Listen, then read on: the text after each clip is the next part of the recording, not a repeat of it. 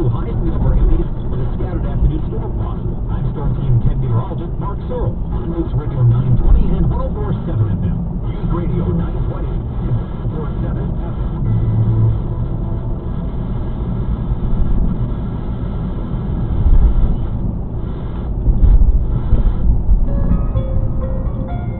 working on an oil change?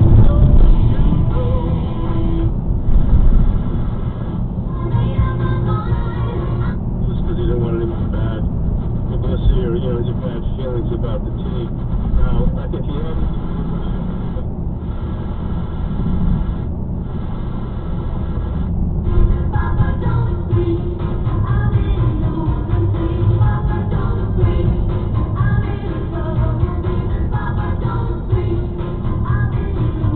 Madonna's Tears for Fears, you got it. Songs you know and can